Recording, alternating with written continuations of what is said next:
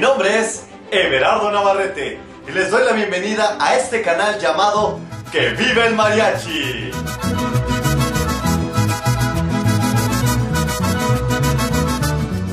El día de hoy les hablaré de los instrumentos que componen al mariachi. Como lo mencioné en la cápsula pasada, existen dos tipos de mariachis en la actualidad, el mariachi tradicional y el mariachi moderno.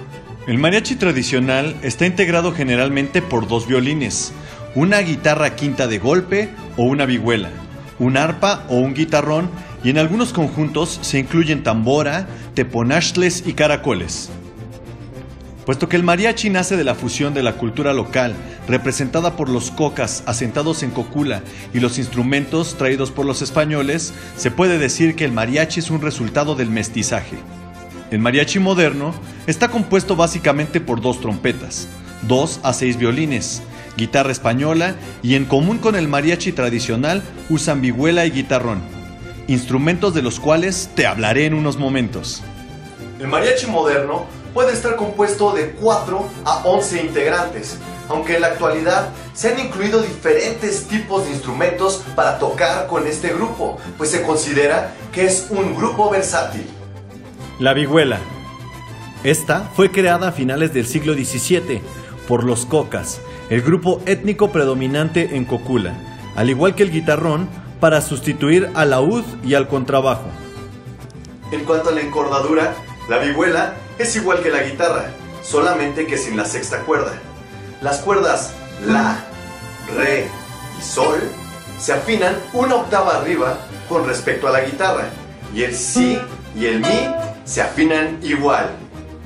La vihuela es la base rítmica del mariachi. Otra particularidad de este instrumento es su parte trasera, a la que se le conoce con forma de pecho de gallo. Este pequeño instrumento provee ritmos excitantes y una línea armónica de acordes con rasgueados resonantes.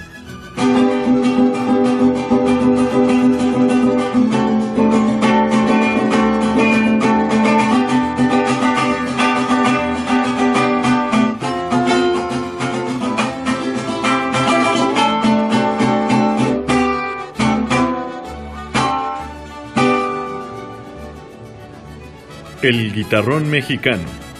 El guitarrón mexicano es un instrumento de cuerdas creado en México para tocar las notas más bajas de el mariachi.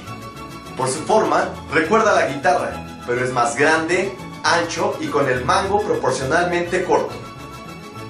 Al igual que la vihuela, el guitarrón también tiene su parte trasera con la forma de pecho de gallo. Usa seis cuerdas, las cuales son de distinta afinación que las de la guitarra, y se toca usando dos de ellas a la vez para dar más fuerza y volumen al sonido. De este modo, resulta tener una sola octava. La afinación común es La, Re, Sol, Do, Mi y La. El guitarrón se afina una quinta abajo con respecto a las cuerdas de la guitarra. Los indígenas del barrio de la Ascensión, en Cocula, Jalisco, empezaban a adueñarse de la música religiosa, por lo cual inventaron una guitarrilla similar al laúd europeo, el cual dio origen a la vihuela, que a su vez dio origen después al guitarrón. La técnica de José Velasco incluye la posición de colgar el guitarrón en el hombro derecho, la forma de jalar las cuerdas, octavar las notas o tocarlas con doble cuerda, la afinación, la práctica de la digitación para el desarrollo de la velocidad, claridad, brillantez y sonoridad al ejecutar las melodías en el guitarrón.